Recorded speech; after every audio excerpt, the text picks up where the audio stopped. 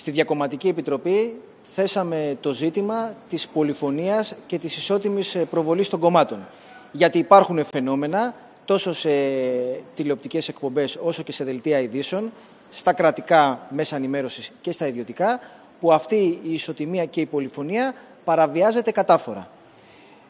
Ε, και μάλιστα είμαστε σε μια περίοδο όπου υπάρχουν διεργασίες στον ελληνικό λαό που μπορούν να ανατρέψουν τους υπάρχοντες πολιτικούς συσχετισμούς.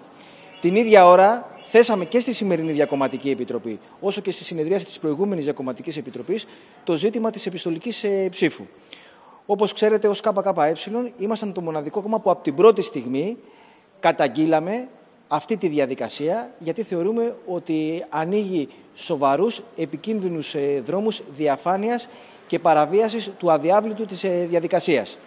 Η κυβέρνηση αυτή τη στιγμή, με τροπολογία που καταθέτει αύριο στη Βουλή, μπροστά σε πρακτικά προβλήματα που υπάρχουν και τα οποία ως κόμμα εμείς είχαμε επισημάνει, ιδιαίτερα σε ό,τι έχει να κάνει με την ε, εμπλοκή των ιδιωτικών εταιριών στην ταυτοποίηση και στην διεκπαιρέωση της διαδικασίας, προχωράει σε περαιτέρω χαλάρωση της διαδικασίας επιστολικής ψήφου, που κατά τη γνώμη μας είναι πολύ σοβαρό και πολύ επικίνδυνο ζήτημα. Τι θα περιέχει αυτή η τροπολογία και λέτε για χαλάρωση; Υπήρχε ένα θέμα πώς θα γίνεται η ταυτοποίηση των ε, εκλογέων που εγγράφονται στην πλατφόρμα της επιστολικής ε, ψήφου.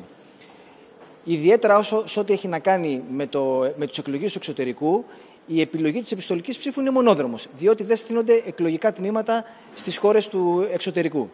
Εμείς είχαμε θέσει από την πρώτη στιγμή ότι είναι πολύ δύσκολο μια εταιρεία ταχυμεταφορών να κάνει σωστή ταυτοποίηση του εκλογέα και μάλιστα μια εταιρεία ταχυμεταφορών στο εξωτερικό.